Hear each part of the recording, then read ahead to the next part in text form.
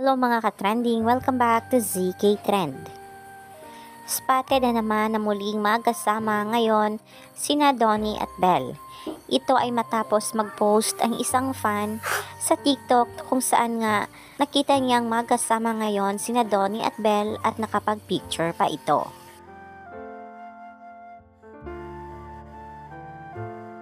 Tila excited naman si Donnie na mapanood ang music video watch party ngayong 8pm para nga sa MB ng Closer na kanta ni Belle Mariano kung saan nga silang dalawa ni Belle ang nasa music video. Number 1 on trending ang non-Bell Closer MB at number 2 naman ang hashtag Close Up Don Bell at sa 3 naman ang Closer with Don Bell.